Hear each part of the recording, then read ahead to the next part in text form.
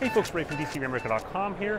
Today I'm in the Garmin booth with TrainerRoad. Um, in particular, TrainerRoad with Garmin's new Vector 3 pedals that are down there, um, but this will be applicable towards all of the Vector pedals that are out there. And what we've got is integration into the TrainerRoad uh, app itself. So this is really the first time we're seeing integration beyond Garmin's head units or any sort of Garmin devices. Uh, in the past, it only worked uh, between Vector and Garmin's head units for their advanced cycling dynamics uh, support, which basically has other metrics like power phase, platform center offset, seated and standing time.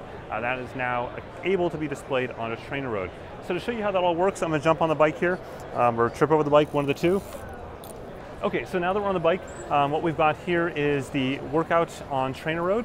Um, and we can go ahead, if we look at the devices, for example, uh, you'll see in the devices menu there that we have the power meter, that's the Garmin Vector power meter, uh, paired to TrainerRoad itself using ANT+. Uh, we can go back to the workout here. And in the workout, you'll see the peak power phase is displayed on the left-hand side. Uh, and then on the right-hand side, we've also got the balance. And then down on the right-hand side, on the bottom portion there, uh, right in the middle there, we've got the seated and standing time. And that'll match what's going on on your Garmin uh, display already. So you can see the two uh, essentially mirror each other between the Edge 1030 and the peak power phase. So if I were to go ahead and start standing up, um, what'll happen next is Within about five seconds, you'll see the display will change. There we go, so now it shows standing, and it shows standing within TrainerRoad as well, which is pretty darn cool.